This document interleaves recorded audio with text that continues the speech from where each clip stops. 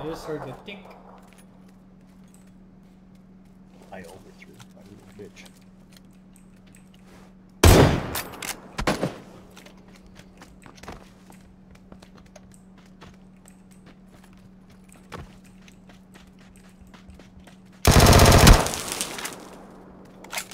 Is he inside now? What? Something weird. I don't like it. There's one underneath me. Dead now.